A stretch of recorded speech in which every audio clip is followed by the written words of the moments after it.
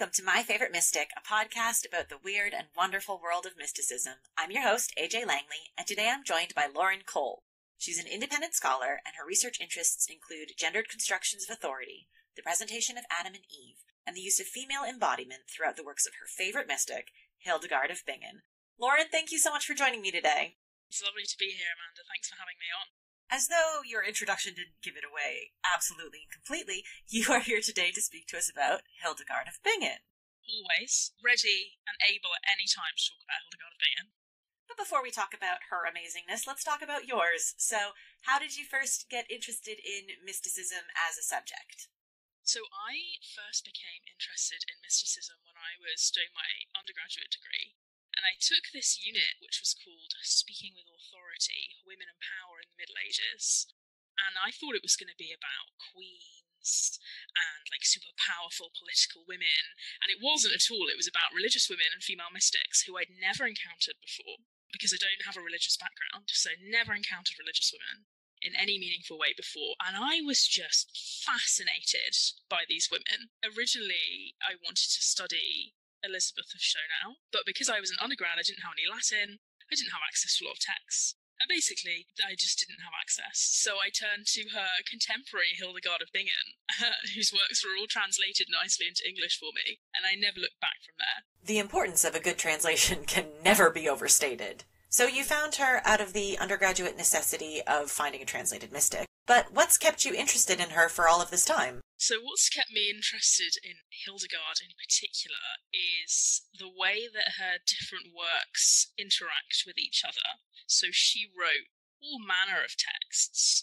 She wrote medical works, as well as more typical religious texts like her theological works. As soon as you sort of start reading the two together, you see these huge connections between what she understands in the spiritual world and what she understands in the physical world. And the connections between them have not been studied massively. And so, really, I just keep finding new connections between the two. So, like in her theology, for example, one of the major concepts is viriditas, which is kind of almost like a divine greening. It doesn't translate very well into English, but a kind of a divinity within nature. And then as soon as you go to her medical works, you see her explain how the divine and humoral theory come together in the human body to create this kind of divine greening or this divinity within nature. And so this connection between the theology and the medicine keeps me coming back every time. Are you interested in the history of medicine more generally? Oh, that's a great question. You know, my knowledge of medical history is fairly limited, and I was very much introduced to medical history by Hildegard. And now I've started to look more into medical history. I can't stop myself, and I keep finding incidents where people claim that this was the earliest herbal written by a woman throughout history, and none of them are as early as Hildegard. So now I've got like a mission within medical history to carve out a space for the good name of St. Hildegard of Bingen as what I know as the earliest surviving herbal written by a woman. Absolutely defend Hildegard against these pretenders to the throne. It's important to remember that even though they had a lot of fantastical experiences, mystics wrote a lot of serious, important things that really deserve examination. Absolutely, and Hildegard wrote the earliest surviving description of a female orgasm written by a woman. When I tell people this, they are shocked and surprised by this because she was a nun, because she was a mystic, and she's known for her religious work. And yet, absolutely, these women are multifaceted, and we can see her really as a what we'd now call a polymath. Well, let's talk a little bit about her mystical facet. How does she describe her relationship with the divine? What does that connection look like?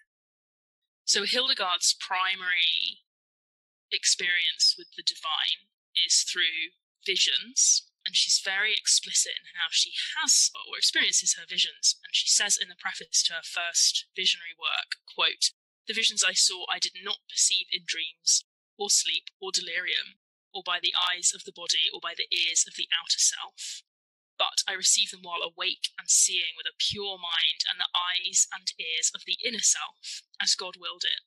How this might be is hard for mortal flesh to understand. End quote.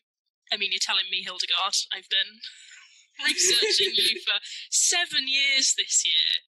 It is hard for the mortal flesh to understand. But you can see from that quote that her primary way of connecting with the divine is through vision, and it's within the tradition of prophecy. So she very much removes herself from the body and from bodily experiences in how she describes her visions. But we know that, of course, that bodily experiences are often very central to mysticism. And I think this is where the separation of Hildegard from mysticism comes. But if we look more broadly at her whole life, she actually uses her body a lot within her divine experiences outside of the visionary realm. So, for example, when she's 42 and she is told by God that she cannot keep her visions a secret any longer, she has to tell people. She is struck down with a massive illness, and that's a divine message from God. And then she realizes that she has to spread His word, and she learns that through her bodily experience. And then when she wants to form her own community of nuns later in her life. The monks at Disibodenberg are like, no, you're too famous. Your reputation here is too strong. You cannot leave us. And she again is struck down by a mysterious illness. And they're like, yeah, yeah, whatever. She's faking it. But the archbishop turns up and takes one look at her and is like, that is divine illness. We have to let her go to form her new community at Rupertsberg. So she absolutely experiences divine connection using her body, which I don't think that has to be central to mysticism. But even if we want to use a more strict definition of mysticism, then she's still having bodily experiences. And as those who listen to the podcast will either know or figure out shortly, we hold to no such strict definitions of mysticism here the fact that you're using a very broad definition of mysticism, I think, is really commendable because when I first started researching Hildegard, I encountered lots of people who were like, well, is she really a mystic? Almost, I think gatekeeping is a strong word, but I'm going to say it gatekeeping mysticism. And I agree with you that we should define mysticism as seeking a connection with the divine through some sort of religious experience. That's how I would define mysticism anyway, and even that might be a little bit too tight. I mean, for the sake of the podcast, I'm not even keeping it to the divine. I mean, bring me a scholar who's got a favorite demoniac, and I'm right in there. But for today, our focus is Hildegard. So, can you tell us a little bit about her life and work? She was a visionary mystic who lived in 12th century Germany. She was a Benedictine nun, and she led a community of nuns. And she's one of only four female doctors of the Catholic Church, which means that her theology has a special authority. And actually, all of the female doctors of the church are mystics, which I think is interesting. So, to give you a little overview of what she accomplished in her lifetime, it's a lot. So, firstly, she composed three works of visionary theology covering the entirety of salvation history, and that is what she's best known for. She also composed one of the largest surviving collections of medieval music. She was extremely influential politically, both inside and outside of the church. And we have around 300 of her letters which survive. And these are basically her giving advice to everyone from popes to kings and queens to emperors to fellow abbesses, monks, pretty much everyone. She created her own secret language that her nuns communicated in. Just a little off the wall fact there. And finally, she wrote works of medicine and natural philosophy, including the earliest surviving description of the female orgasm by a woman in the Western tradition. And to top it all off, she started her public life at 42. She didn't tell anyone that she had visions until then, and that's when she started writing and composing all of her work. So everything she did, everything we know her for, she did in the second half of her life, which I personally find extremely comforting. Absolutely, that's hugely comforting. So she wrote on a wide variety of topics. What do we know about her education? We know that Hildegard was educated as a Benedictine nun. So we know that she would have been exposed to biblical study, to not only scripture, but also popular or common exegeses, so, such as those of the church fathers. We also know that she was educated by another nun called Jutta, who was a few years her senior, and that their education was likely quite comprehensive. So we know that Jutta was well educated, but unfortunately she died quite young, so we don't have work surviving from her. But what we see in Hildegard's work is enormously wide ranging and identifiable influences from contemporary theology, from medicine, from knowledge of political events that are going on, such as conflict between the Holy Roman Emperor and the Pope. So we know that she must have had quite an extensive education and that she must have had a lot of contact with what was going on in the outside world.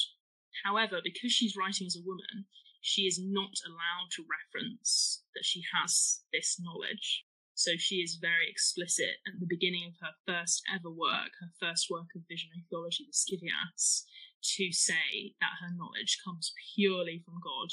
And she explicitly says that she herself does not have knowledge of the scriptures and of exegeses, that these have been literally placed into her head by the divine.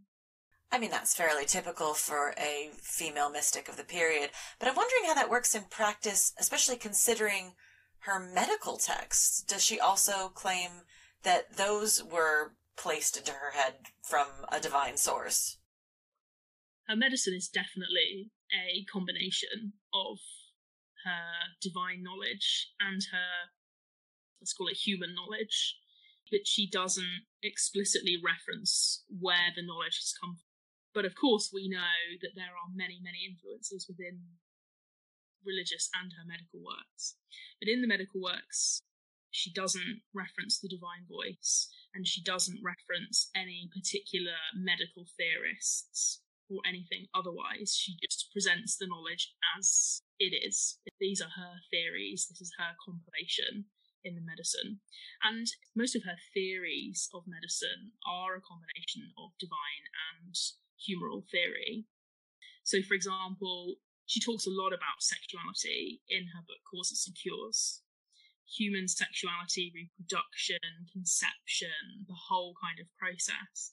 And she relies both on knowledge of Adam and Eve and knowledge of how humoral theory affects, for example, the menstrual cycle to give advice for people who may be infertile, for people who are choosing the right partner to have a child with, for people who are choosing when to conceive their child.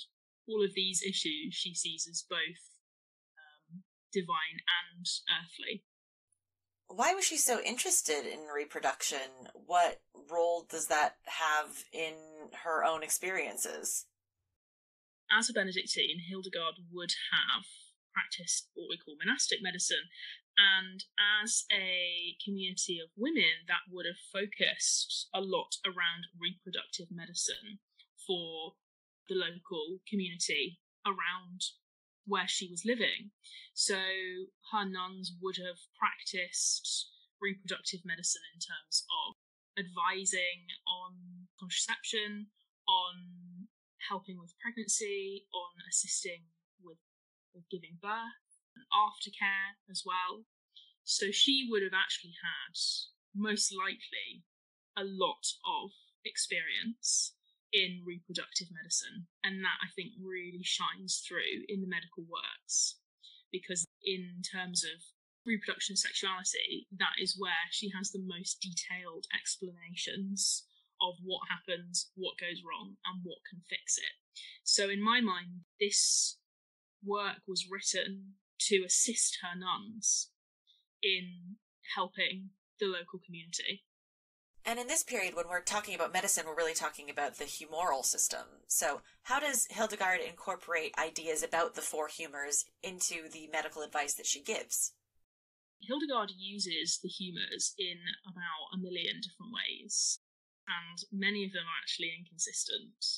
It's not a guidebook for medicine in the way that we might recognise a guidebook. So she uses the humours to describe people's personalities, a bit like we might use a horoscope. She has this whole section in Causes and Cures, her medical work, where she talks about the different personalities and they are related to the humours. So you have the sanguine person, you have the phlegmatic person, and she talks about how they are compatible and how they create healthy or unhealthy children. And I think what this probably is, is a reflection of the anxieties around the high levels of infant mortality amongst the communities that she would have been serving with her medicine. And so I don't know whether she or her nuns would have specifically given advice on this or whether it is simply a reflection of something they have observed and something perhaps that they would like to give advice on or would like to find an explanation for. I love the idea of matchmaking based on people's varying balances of humors. That's fantastic. But one of the things about the humors is that they are in flux, that you can adjust them. So, how does that work with this idea that they affect personality?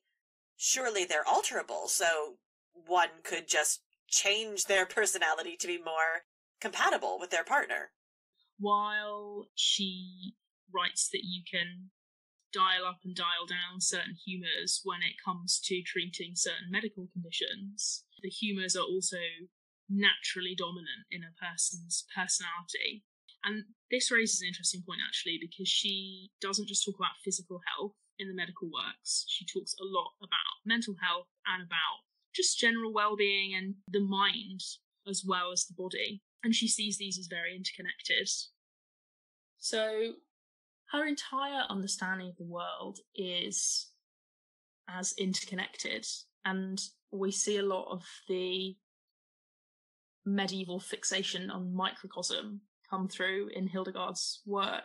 She sees the human body as a microcosm of the physical earth and therefore that there is an enormous connection between the health of the body and the health of the earth. Um, and she's very popular in eco criticism circles as well. And then that the physical earth is a microcosm of the spiritual world. So that there's kind of three layers within that. And so for her, divine experience comes not just through the microcosm of the soul uh, as a, as microcosm of the spiritual world, but also through um, the connection between the body and the physical earth, because the physical earth is a microcosm of the spiritual world. So therefore, it is another way of accessing the divine. And in her theology, she uses this concept of viriditas, which doesn't translate well into English, but means a kind of divine greening or a divine nature um, in plants. Um, so within her theology, you see her speak of both the physical and corporeal world and traditional spiritual roots, both as ways of accessing the divine and both as legitimate ways of doing that as well.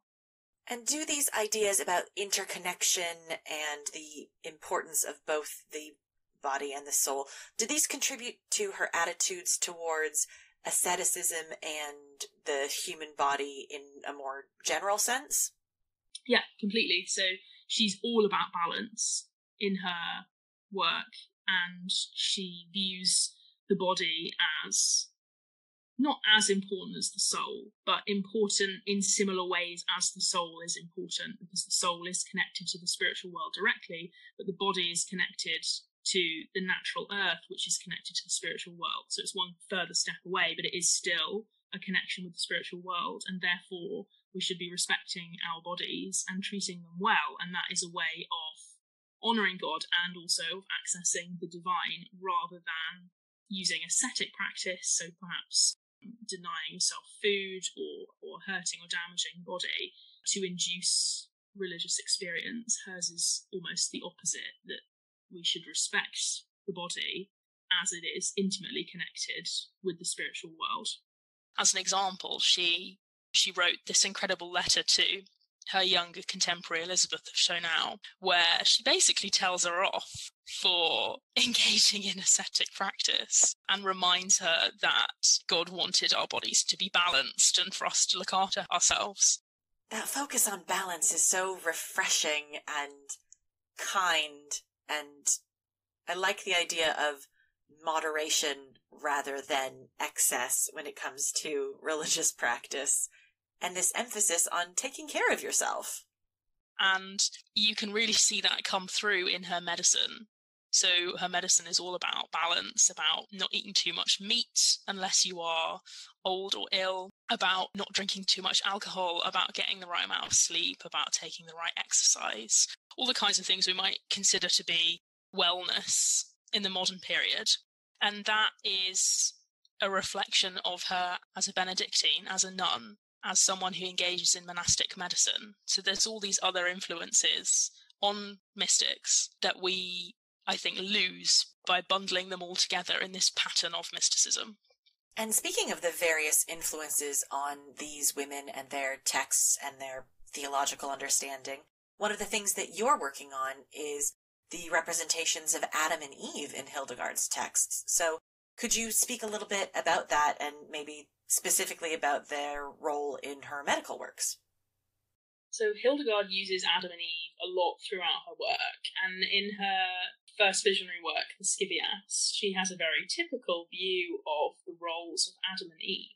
So Eve is portrayed as weak and as being tempted by the devil, and there's a sexual element to that in the Scivias as well, because the devil invades Eve and that has sexual connotations. But when we turn to causes and cures, the medical work, we find a much more complex theory or theology of Adam and Eve and their relationship to human sexuality. So it moves away from a typical view of Eve as sexual temptress and the cause of original sin and the sexual nature of that sin and into a much more nuanced understanding of the role of Adam and Eve. And actually, Hildegard places the blame more on Adam, both blame for the fall and blame for original sin and the sexual nature of that sin. I have a quote about that that I would like to share. So the quote begins God created the human being, and all animals were subject to serving him when man transgressed God's order, he was changed in mind and body. The purity of his blood changed to another type, so that instead of purity, it throws off the foam of semen. If the human had stayed in paradise, he would have continued in his unchangeable and perfect state. But these all changed after the transgression into another bitter type.